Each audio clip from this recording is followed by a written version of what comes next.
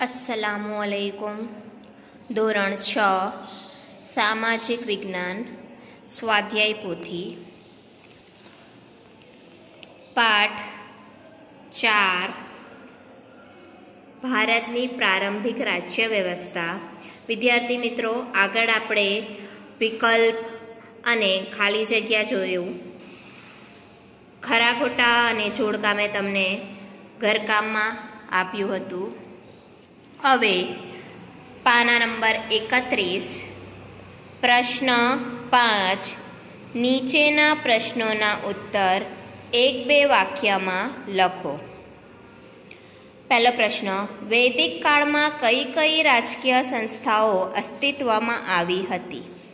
જવાબ, વૈદિક કાળમાં સભા અને સમિતિ નામની રાજ્ય સંસ્થાઓ અસ્તિત્વમાં હતી. બીજું પ્રારંભિક રાજ્ય વ્યવસ્થામાં સમુદાય બીજા કયા નામે ઓળખવામાં આવતો?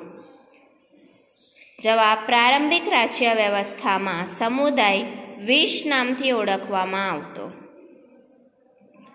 ત્રીજો સવાલ, ભારતમાં પ્રારંભિક રાજ્યોની સ્થાપના કયા કયા વિસ્તારમાં ક્યારે થઈ હતી? જવાબ, ભારતમાં પ્રારંભિક રાજ્યોની સ્થાપના ઈસવીસન પૂર્વે એક હજારની આસપાસ પંજાબ અને ગંગા નદીના વિસ્તારમાં થઈ હતી. ચોથું, જનપદ એક એવા પ્રકારની રાજ્ય વ્યવસ્થા હતી? જવાબ, જનપદે ઋગ્વેદકાલીન કબીલાઈ સમાજથી બહુ વિશિષ્ટ રીતે વિકાસ પામેલી રાજ્ય વ્યવસ્થા હતી. પ્રશ્ન પાંચ મહાજનપદોમાં કયા કયા બે પ્રકારની શાસન વ્યવસ્થા હતી? જવાબ, મહાજનપદોમાં આ બે પ્રકારની શાસન વ્યવસ્થા હતી. પહેલું રાજાશાહી અને બીજું લોકશાહી.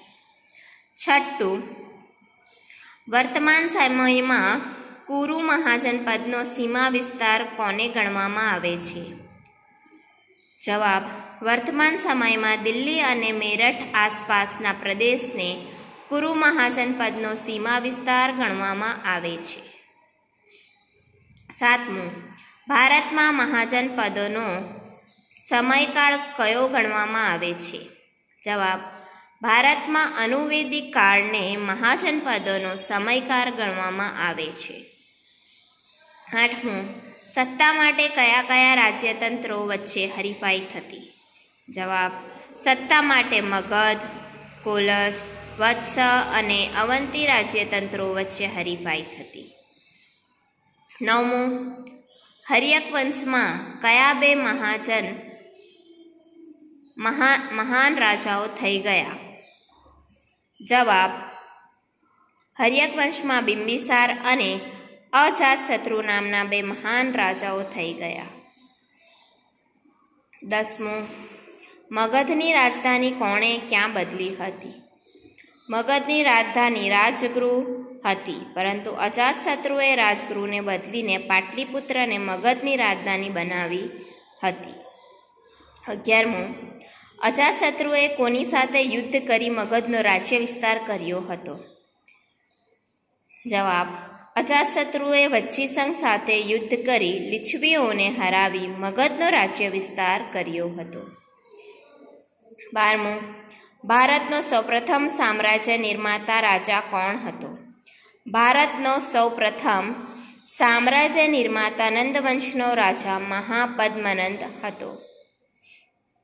તેરમું. અનુવેદિક કાળમાં મગધ પર કયા ત્રણ બળવાન વંશોએ શાસન કર્યું હતું? જવાબ, અનુવેદિક કાળમાં મગધ પર આ ત્રણ બળવાન વંશોએ શાસન કર્યું હતું. પહેલું હર્યક વંશ બીજું નાગવંશ અને ત્રીજું નંદવંશ. ચૌદમું ગણરાજ્ય એટલે શું? જવાબ, લોકો દ્વારા પ્રત્યક્ષ કે પરોક્ષ પદ્ધતિથી ચૂંટાયેલા વડા દ્વારા શાસિત રાજ્યને ગણરાજ્ય કહેવામાં આવે છે.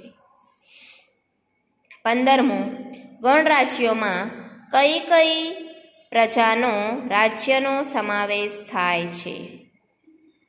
જવાબ, ગણરાજ્યમાં વૈશાલીના લીછવી કપિલવસ્તુના શાક્ય, મિથિલાના વિદે કુશીનારાના મલ્લ વગેરે પ્રજાના રાજ્યોનો સમાવેશ થાય છે. સોલમો, ગણરાજ્યમાં, ગણરાજ્યને ગણતંત્ર શા માટે કહેવામાં આવતું? ગણરાજ્યના રાજ્ય વહીવટનું ગણતંત્ર સંચાલન ગણસભા દ્વારા કરવામાં આવતું હતું. તેથી તેને ગણતંત્ર કહેવામાં આવતું. સંથાગાર એટલે શું? ગણરાજ્યોએ રચેલા ગણરાજ્ય સંઘની સભા જે સ્થળે યોજાતી તે સ્થળને સંથાગાર કહેવામાં આવતું. અઢારમું. ગણરાજ્યના લોકો કયા કયા પાકો પકાવતા? ગણરાજ્યના લોકો ઘઉં, ચોખા, જવ, શેરડી, તલ, સરસવ, કઠોળ વગેરે પાકો પકાવતા. ઓગણીસમું, ગણરાજ્ય સમયના મળી આવેલા કેટલાક વાસણો કેવા હતા? ગણરાજ્ય સમયના મળી આવેલા કેટલાક વાસણો ભૂખરા રંગથી ચિત્રકામ કરેલા ઘૂસર પાત્રો હતા. વિદ્યાર્થી મિત્રો, આજના માટે ફક્ત આટલું જ. બીજા વિડીયોમાં આપણે આગળ જોઈશું. તમારી આ ઓક્ટોબરની પરીક્ષામાં સામાજિક વિજ્ઞાનની પરીક્ષા છે, તેમાં તમારો ચોથો પાઠ પણ કોર્સમાં રહેશે. પાઠ ચાર, દસ અને ચૌદ તમારો કોર્સમાં રહેશે. આજના માટે બસ આટલું જ. Thank you